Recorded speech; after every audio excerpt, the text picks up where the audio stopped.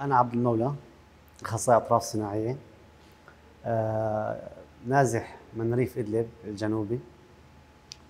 تعرضت للإصابة ببداية الثورة السورية عام 2012 على أثر هاي الإصابة آه، فقدت رجلي اليسار. طبعا سبب الإصابة هو كان إطلاق النار علي أنا وأخي وعائلتي. أثناء آه، مرورنا في إحدى الشوارع آه، بالمحافظة. بعد ما فقدت رجلي يعني فقدت معها كثير أشياء ثانية بطلت أحب الحياة يئست. صرت أنظر للحياة آه، بنظرة سوداوية. ولكن بفضل الله سبحانه وتعالى وبفضل يعني إيماني وتشجيع أهلي وأصدقائي اللي حوالي قررت إنه ما أستسلم لهذا الضعف اللي أنا فيه. درست الأطراف الصناعية وأجهزة التقويم لمدة ثلاث سنوات.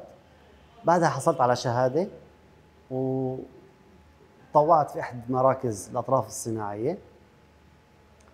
آه الحمد لله يعني كوني أنا شخص آه من ذوي الاحتياجات الخاصة آه اللي تجربتي الخاصة في هذا المجال.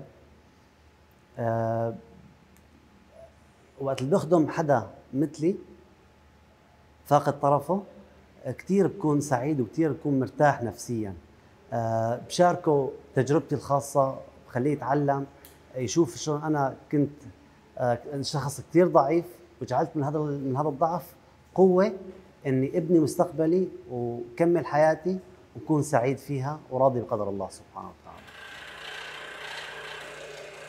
طبعا بتمنى آه، إني أقدر أطلع على دول الدول الغربيه مثل كندا أو بريطانيا يعني جهات دول آه، مهتمة بمجال الأطراف الصناعية لحتى اكمل مستقبلي ودراستي لحتى أحصل على شهادة آه، أقوى من الشهادة اللي معي وكون سند لكل شخص محتاجني.